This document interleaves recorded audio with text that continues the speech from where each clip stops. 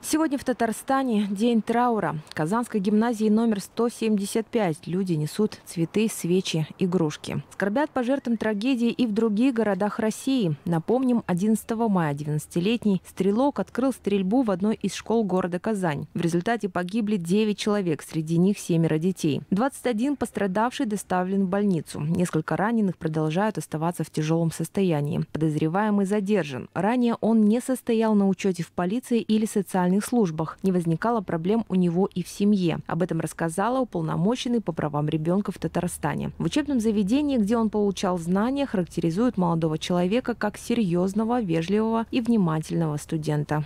Я к школе никакого отношения не имею, просто у меня тоже есть дети. Я смотрел прям почти с самого начала, как бы родители начали присылать такие вещи. Ну, очень сильно переживала за детей. Ну, это, по-моему, всеобщее горе беда такая. И мы должны все задуматься, чтобы все были в безопасности. И дети, и все. Каждый должен подумать, что должен он сделать именно для этого.